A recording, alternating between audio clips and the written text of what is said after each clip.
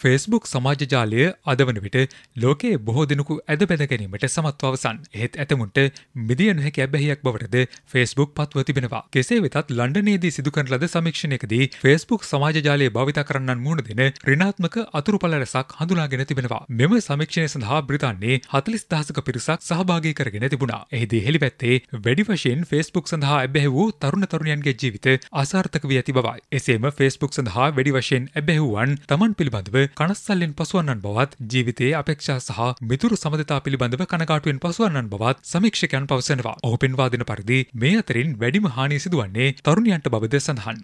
විශේෂයෙන්ම ෆේස්බුක් වෙත ඇබැහිවන තරුණියන් විවිධ මානසික ගැටලු හා පරාජිත මානසිකත්වයට මුහුණ දෙන බවයි අනාවරණ කර ඇත්තේ. සෑම දිනකම පැයකට වඩා වැඩි කාලයක් ෆේස්බුක් භාවිතයට හුරුවන් ප්‍රකාශ කර ඇත්තේ තමන්ගේ ජීවිතයේ බොහෝ අරමුණු ඉටු කරගත නොහැකි වූ බවයි. සාර්ථක පුද්ගලයන්ගෙන් බහුතරය ෆේස්බුක්හි අඩු කාලයක් ගත කරන්නන් බවද මෙම සමීක්ෂණයේදී අනාවරණ කර තිබෙනවා.